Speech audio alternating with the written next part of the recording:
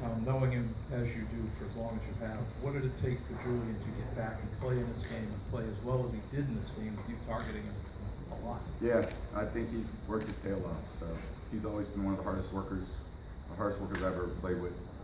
Um, one of the most determined uh, young men that you know is on this team, and uh, he's got as much heart as anybody.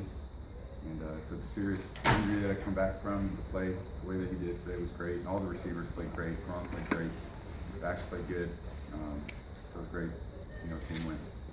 The right, the right, Um, how difficult the matchup is Robert Gronkowski when he lines up wide? How does he benefit your offense when you use him out in space up there? Um, I mean, he's a he's a tough matchup for everybody. He's you know he's got size and speed, so he's a tough matchup.